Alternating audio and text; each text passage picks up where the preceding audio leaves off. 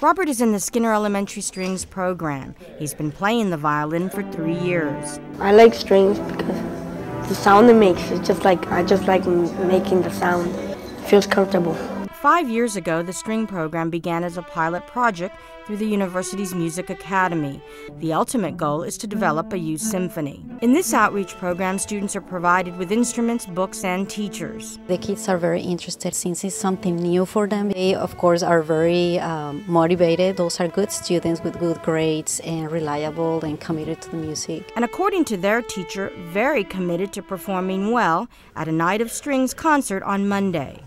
The concert includes performances by Dr. Francisco Cigarroa, Chancellor of the University of Texas System, and students in the university's guitar ensemble. The money raised will benefit student scholarships. For UT Brownsville and Texas Southmost College, I'm Letty Fernandez reporting for Channel 5 News.